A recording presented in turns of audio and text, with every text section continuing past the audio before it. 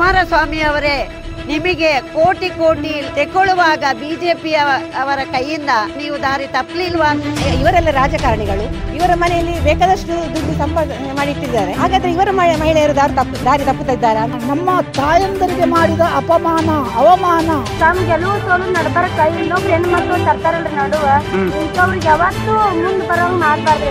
ಏನು ಹೆಣ್ಮಕ್ಳು ಕೆಟ್ಟಿಲ್ಲ. ಸಿದ್ದರಾಮಯ್ಯ ಚಂದೆ ಅನ್ರಿ. ಎಲ್ಲವ ಚಂದೆ ಅನ್ರಿ ಸಿದ್ದರಾಮಪ್ಪ ತಪ್ಪಾಗತ್ರಿ ಅದ ಕುಮಾರಸ್ವಾಮಿದ. ಪ್ರೀ ಈಗ ಪ್ರೀ ಮಾಡಿ ಓಟ್ ಹಾಕ್ತೀವಿ ಅಂತ ಅಂದಿರ್ತಾರ ಫ್ರೀ ಹಾಕಿರ್ತೀವಿ. ಅದು ಬಿಟ್ಟು ಹೆಣ್ಮಕ್ಳು ಹಾದಿ ತಪ್ಪ್ಯಾರ? ಫ್ರೀ ಮಾಡಿದಕ್ಕ ಓಡೋಗ್ಯಾರ ಅಂತಂದ್ರೆ ಹೆಂಗಾಗತ್ರಿ? ದುಡ್ಕೊಂಡ್ ತಿನ್ನೋರಿಗೆ ಬರ್ತೈತಿ ಮತ್ ನಮ್ಮಂತ ಹೆಣ್ಮಕ್ಳಿಗೆ ಬರ್ತೈತೆ. ಒಬ್ರು ಯಾರೋ ಒಬ್ರು ಮಾಡಿದ್ರಂದ್ರ ಅವ್ರ ಮನೆಗೆ ಗಂಡ್ಮಕ್ಳು ಸರಿ ಇರಲ್ಲ ಅವ್ರು ಮಾಡಿರ್ತಾರೆ ಹೆಣ್ಮಕ್ಳು.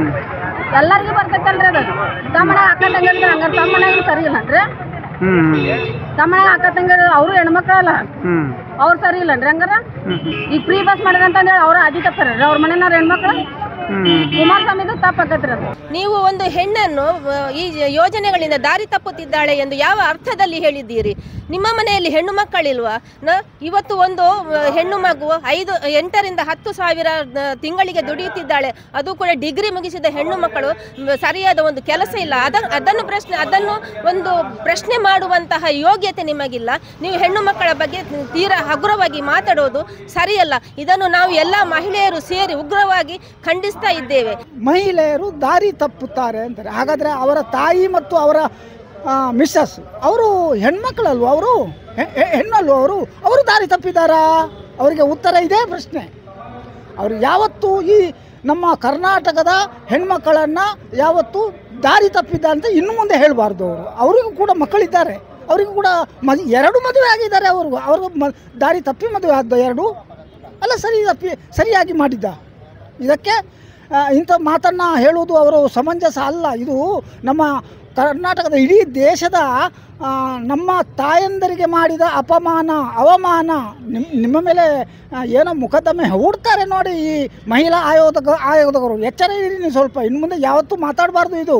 ಬಿಟ್ಟಿ ಭಾಗ್ಯ ಅಂತ ಹೇಳುವ ಬಿ ಜೆ ಪಿ ಮುಖಂಡರು ಏನು ಮಾಡ್ತಾರೆ ಅಂದರೆ ಕಾರಿಗೆ ಪೆಟ್ರೋಲ್ ಜಾಸ್ತಿ ಅಂತೇಳಿ ಸುಳ್ಯದಿಂದ ಮಂಗಳೂರಿಗೆ ಬರುವಾಗ, ಇವರ ಕಾರನ್ನು ಪಾರ್ಕಿಂಗಲ್ಲಿ ನಿಲ್ಲಿಸಿ ಅವರ ಹೆಣ್ಮಕ್ಕಳನ್ನು ಬಸ್ಸಿಗೆ ಹತ್ತಿಸ್ತಾರೆ. ಯಾಕೆ?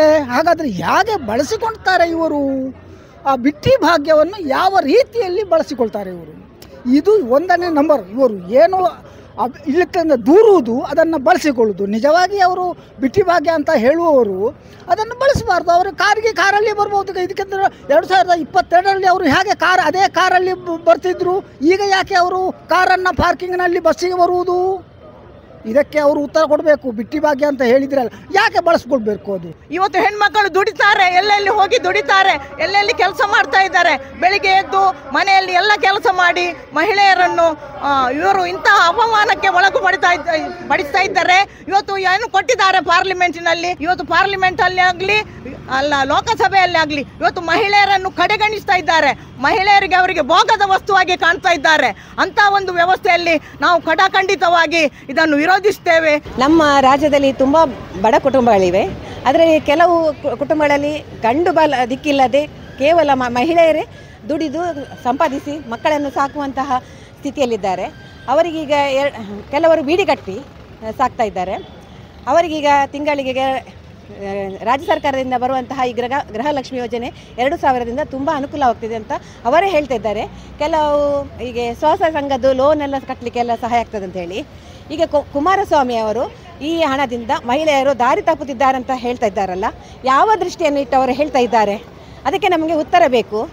ಈಗ ಇವರೆಲ್ಲ ರಾಜಕಾರಣಿಗಳು, ಇವರ ಮನೆಯಲ್ಲಿ ಬೇಕಾದಷ್ಟು ದುಡ್ಡು ಸಂಪಾದನೆ ಮಾಡಿಟ್ಟಿದ್ದಾರೆ ಹಾಗಾದರೆ ಇವರ ಮಹಿಳೆಯರು ದಾರಿ ತಪ್ಪು, ದಾರಿ ತಪ್ಪುತ್ತಾ ಇದ್ದಾರಾ ಅಂತ ನನ್ನ ಪ್ರಶ್ನೆ. ಕುಮಾರಸ್ವಾಮಿ ಅವರೇ, ನಿಮಗೆ ಕೋಟಿ ಕೋಟಿ ತೆಕ್ಕೊಳ್ಳುವಾಗ ಬಿ ಜೆ ಪಿಯ ಅವರ ಕೈಯಿಂದ ಕೋಟಿ ಕೋಟಿ ತೆಕ್ಕೊಳ್ಳುವಾಗ ನೀವು ನಿಮ್ಮ ಹೆಂಡತಿ ಮತ್ತು ನೀವು ದಾರಿ ತಪ್ಪಲಿಲ್ವಾ ಅಂತ ನಾನು ನಿಮಗೆ ಒಂದು ಪ್ರಶ್ನೆ ನಿಮ್ಮಲ್ಲಿ ಕೇಳೋದು. ಯಾಕಂದರೆ ನೀವು ಜನತಾದಳ ಅಂತ ಹೇಳಿ ಚುನಾವಣೆಯಲ್ಲಿ ಸ್ಪರ್ಧೆ ಮಾಡಿ ಎಂ ಎಲ್ ಎ, ಎಂ ಆಗಿ ಹೋಗಿದ್ದೀರಿ. ಆದರೆ ಈ ಸಲ ನಿಮ್ಮ ಮೂರು ಕಾಸಿನ ಬುದ್ಧಿ ಎಲ್ರಿಗೆ ಅರ್ಥ ಆಗಿ ನೀವು ಸೋಲ್ತೀರಂತ ನಿಮಗೆ ಅರ್ಥ ಆಗಿ ಬಂದಿದೆ. ಅದಕ್ಕಾಗಿ ನೀವು ಕಾಂಗ್ರೆಸ್ಸಿಗೆ ಈಗ ಯಾಕೆ ಇಂಥದ್ದೆಲ್ಲ ವಿಚಾರದಲ್ಲಿ ನೀವು ಮಾತಾಡ್ತೀರಂತ ನಾನು ನಿಮ್ಮಲ್ಲಿ ಪ್ರಶ್ನೆ ಕೇಳೋದು. ಈ ಬೆಲೆ ಏರಿಕೆಯಲ್ಲಿ ಒಂದು ಮೂರು ಜನ, ನಾಲ್ಕು ಜನ ಮನೆಯಲ್ಲಿ ಇದ್ದರೂ ಅವರಿಗೆ ಜೀವನ ತೆಗಿಲಿಕ್ಕೆ ತುಂಬ ಕಷ್ಟ ಆಗಿದೆ. ಮಹಿಳೆಯರಿಗೆ ಒಂದು ಎರಡು ಸಾವಿರ ರೂಪಾಯಿ ಸಿಕ್ಕಿದೆ. ಆ ಎರಡು ಸಾವಿರ ಸಿಕ್ಕುವಾಗ ನಿಮ್ಮ ಬಾಯಲ್ಲಿ ಮಹಿಳೆಯರು ದಾರಿ ತಪ್ಪಿದಾರಂತೆ ನೀವು ಹೇಳ್ತಾ ಇದ್ದೀರಂತ ಹೇಳಿದರೆ ನಿಮಗೆ ನಾಚಿಗೆ ಆಗಬೇಕು. ಈ ಒಂದು ಸರಕಾರದಲ್ಲಿ ನೀವು ಬಿಜೆಪಿಗೆ ಹೋಗಿ ಇಂಥ ಮಾತು ಮಾತಾಡಲಿಕ್ಕೆ ನಿಮಗೆ ನಾಚಿಕೆ ಆಗಲಿಲ್ವಾ? ಯಾಕೆ? ನಾವು ದುಡಿಯುದಿಲ್ವಾ ನಾವು ಬೆಳಿಗ್ಗೆ ಹೋಗಿ ಒಂದು ಸಂಜೆ ಬರ್ತೇವೆ ದುಡಿದು. ಎರಡು ಸಾವಿರದಿಂದಲೇ ಜೀವನ ಹೋಗುದಿಲ್ಲ. ಆದ್ರೂ ಸಹ ಆ ಎರಡು ಸಾವಿರ ಒಂದು ನಮಗೆ ಸಿಕ್ಕಿದ್ರಿಂದ ಏನೋ ಒಂದು ನಮ್ಮ ಮಕ್ಕಳಿಗೆ ಕೆಲವೊಂದು ಕಡೆ ಮಕ್ಕಳಿಗೆ ಊಟ ಕೊಡ್ಲಿಕ್ಕೆ ಊಟಕ್ಕೆ ಸಹ ಗತಿ ಇರುವುದಿಲ್ಲ. ಆ ಸಂದರ್ಭದಲ್ಲಿ ಆ ಬಡತನದಿಂದ ಆ ತಾಯಿಯ ಎರಡು ಸಾವಿರದಿಂದ ಎಷ್ಟೊಂದು ಅವಳ ಮಕ್ಕಳಿಗೊಂದು ಒಳ್ಳೆ ಒಂದು ಊಟ ಕೊಡ್ತಾ ಇದ್ದಾಳೆ. ಆ, ಅವ್ರು ತಿಂತಾ ಇದ್ದಾರೆ ಒಂದು ಖುಷಿ ಪಡ್ತಾ ಇದ್ದಾರೆ. ಅದನ್ನು ನೀವು ಹೆಣ್ಣು ಮಕ್ಕಳು ವ್ಯಭಿಚಾರ ಮಾಡ್ತಾ ಇದ್ದಾರೆ ಅಂತ ಹೇಳ್ತಾ ಇದ್ದೀರಲ್ಲ, ಇದು ಖಂಡಿತವಾಗ್ಲೂ ತಪ್ಪು. ನಿಮ್ಮ ಅವರ ಮನೆಯಲ್ಲಿ ಹೆಣ್ಣು ಇಲ್ವಾ? ಅವರ ಹೆಂಡತಿ ಹೆಂಡತಿ ಹೆಣ್ಣಲ್ವಾ? ಹೆಣ್ಣು ಮಕ್ಕಳ ಬಗ್ಗೆ ಮಾತಾಡಿದ್ರೆ ಖಂಡಿತವಾಗ್ಲೂ ನಾವು ಸುಮ್ಮನೆ ಬಿಡೋದಿಲ್ಲ ಇದಕ್ಕೆ ನಾವು ಖಂಡಿತವಾಗ್ಲೂ ಪ್ರತಿಭಟನೆ ಮಾಡೇ ಮಾಡ್ತೇವೆ. ಅವಂದ ತಪ್ಪ ಅನ್ಸತ್ರಿ. ದಾರಿ ತಪ್ಪಕ್ಕೆ ಏನ ಬೇರೆದವ್ರನ್ನ ಯಾರನ್ನ ತಗೊಂಡ್ ಓಡಾಡಿ ಹೊಂಟ್ರ ಅಂತಂದ್ರೆ ಕುಮಾರಸ್ವಾಮಿಗೆ ಏನಿಲ್ಲ. ಮತ್ತ ಅವ್ ಫ್ರೀ ಮಾಡ್ಯಾನ ಅಂತೇಳಿ ಹೋಗ್ತಾರ, ಬರ್ತಾರ. ಬಡ ಜನಕ್ಕೆಲ್ಲ ಸಹಾಯ ಮಾಡ್ಯಾನವ ಏನ್ರಿಪ್ಪ ಸಿದ್ದರಾಮಯ್ಯ ಸ್ವಾಮಿ ರೀ ನೀವ್ ಏನ್ ಮಾಡ್ಯಾನ್ರಿ? ಗೆಲುವು ಬಂದಿಲ್ಲ ಅಂತಂದ ಇನ್ನೊಬ್ರ ಹೆಣ್ಮಕ್ಳಿಗೆ ಇಂತ ಕೆಟ್ಟ ಅಪರಾಧ ಹೊರಿಸ್ತಾರಲ್ರಿ? ಅದ ಅವ್ರ ಇನ್ನೇಮ್ಮ ಅವ್ರು ಯಾರಾದ್ರೂ ಅವ್ರಿಗೆ ಓಟ್ ಹಾಕೋದಾದ್ರು ಏನೋ ಸಂಬಂಧಪಟ್ಟಿದ್ರು ಅವ್ರಿಗೆ ಯಾರು ಹೆಲ್ಪ್ ಮಾಡಂಗಿಲ್ರಿ. ಯಾಕಂದ್ರ ತಮ್ದು ಹೆಣ್ಮಕ್ಳು ತಾಯಿ ಅಕ್ಕಂಗರ್ ಎಲ್ಲಾರು ಇರ್ತಾರ. ತಮ್ ಗೆಲುವು ಸೋಲು ನಡ್ಬರಕ ಇನ್ನೊಬ್ರ ಹೆಣ್ಮಕ್ಳು ತರ್ತಾರಲ್ರಿ ನಡುವ. ಇಂಥವ್ರಿಗೆ ಯಾವತ್ತೂ ಮುಂದ್ ಬರೋಂಗ್ ಮಾಡ್ಬಾರ್ದ್ರಿ ಹೆಣ್ಮಕ್ಳು. ಯಾಕಂದ್ರ ಇಂಥ ಜನ ಜಗತ್ನೊಳಗೆ ಎಂತೆಂತ ಮಂದಿ ಇರ್ತಾರ? ಮಾಡ್ಲಾರಿಗೂ ಮಾರೋರ್ಗು ಎಲ್ಲರಿಗೂ ಒಂದ ಹೆಸರು ಬರ್ತೈತ್ರಿ. ಆ ಮಾಡ್ಲಾರಿಗೂ ಒಂದ್ ಕೆಟ್ಟ ಹೆಸರು ಬಂದ ಬರ್ತೈತ್ರಿ. ಅದಕ್ಕ ಒಂದು ತಪ್ಪ ಆಕತ್ರಿ ಆ ತರ ಮಾತಾಡ್ಬಾರ್ದ್ರಿ. ಏನು ಹೆಣ್ಮಕ್ಳು ಕೆಟ್ಟಿಲ್ಲ. ಸಿದ್ರಮ್ಮ ಚಂದೇ ಮಾಡ್ಯಾನ್ರಿ ಎಲ್ಲವ ಚಂದೇ ಮಾಡ್ಯಾನ್ರಿ ಸಿದ್ದರಾಮಪ್ಪ ದಿಕ್ಕು ತಪ್ಪಿಸ್ತಾ ಇದಾರೆ ಅಂದ್ರೆ ಏನರ್ಥ ಇದು ತಪ್ಪಲ್ವಾ? ಅವ್ರಿಗೆ ಯಾರು ಅಕ್ಕ ತಂಗಿದಿರು, ಅವ್ರ ಕುಟುಂಬದಲ್ಲಿ ಯಾರು ಹಂಗಾರ ರೈತರ ವರ್ಗದವರು, ಇನ್ನೊಬ್ರು ಯಾರು ಇಲ್ವೇ ಇಲ್ವಾ? ಏನು ಇದರಿಂದ ಅನನುಕೂಲ ಆಗಿದೆ? ವಿದ್ಯಾರ್ಥಿಗಳಿಗೆ ಸ್ಕಾಲರ್ಶಿಪ್ ಸಿಗ್ತಾ ಇದೆ, ಅವರು ಅದನ್ನು ಬಳಸ್ಕೊತಾ ಇದ್ದಾರೆ ಒಬ್ಬರು ಓದಿ ಹೇಳ್ತಾರೆ, ನಾವು ಅದನ್ನು ಎಸ್ ಎಕ್ಸಾಮ್ಗೆ ಇದಕ್ಕೆ ನಾವು ಬಳಸ್ಕೊಂಡಿದ್ದೀವಿ ಅಂತ ಹೇಳ್ತಾರೆ. ಕೆಲವರು ತಾಯಿಯಂದಿರಿಗೆ ಎರಡು ಸಾವಿರ ರೂಪಾಯಿ ಕೊಡ್ತಾ ಇದ್ದಾರೆ, ಅವರು ಅದನ್ನು ಒಂದು ಸೀಮೆ ಹಸು ತೊಗೊಂಡು ಅದರಲ್ಲೆಲ್ಲ ನಾವು ಈ ವ್ಯಾಪಾರ ಮಾಡ್ಕೊತಾ ಇದ್ದೀವಿ ಅಂತ ಹೇಳ್ತಾ ಇದ್ದಾರೆ.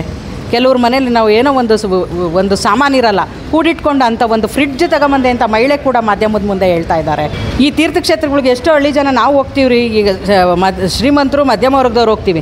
ಬಡವರು, ಆಟೋದವರು, ಕೂಲಿ ಕಾರ್ಮಿಕರು, ಮನೆ ಕೆಲಸ ಮಾಡೋ ಹೆಣ್ಮಕ್ಳು ಎಲ್ಲಿ, ಯಾವುದರಿಂದ ಹೋಗ್ಬೇಕಾಗುತ್ತೆ ಅವರು? ಅವರು ಮನೆ ಮುಸ್ರೆ ತಿಕ್ಕಬೇಕು ಕೆಲಸ ಮಾಡಬೇಕು, ಹೋಗಬೇಕು. ಅಂಥದ್ರಲ್ಲಿ ಎರಡು ಸಾವಿರ ರೂಪಾಯಿ ಕೊಟ್ಟಿರೋದ್ರಲ್ಲಿ ಏನು ತಪ್ಪಿದೆ? ಫ್ರೀ ಬಸ್ ಬಿಟ್ಟಿರೋದ್ರಲ್ಲಿ ಏನು ತಪ್ಪಿದೆ? ಹೋಗ್ತಾರೆ ದೇವಸ್ಥಾನಗಳನ್ನ ನೋಡ್ಕೊತಾರೆ, ಬರ್ತಾರೆ. ಇದನ್ನು ಆದಿ ತಪ್ಪಿಸ್ತಿದ್ದಾರೆ ದಿಕ್ಕು ಹೆಣ್ಮಕ್ಳನ್ನ ದಿಕ್ಕು ತಪ್ಪಿಸ್ತಿದ್ದಾರೆ ಅಂತ ಹೇಳೋಕ್ಕೆ ಅವ್ರಿಗೆ ನಾಚಿಕೆ ಆಗಬೇಕು. ಕುಮಾರಸ್ವಾಮಿ ಅವ್ರಿಗೆ. ಮತ್ತಷ್ಟು ವಿಶೇಷ ವಿಡಿಯೋಗಳನ್ನು ನೋಡಲು ಮತ್ತು ಹೊಸ ವಿಡಿಯೋಗಳ ಬಗ್ಗೆ ತಿಳಿಯಲು ಈ ದಿನ dot com YouTube channel subscribe ಮಾಡಿ ಮತ್ತು ಬೆಲ್ ಐಕಾನ್ ಕ್ಲಿಕ್ ಮಾಡಿ.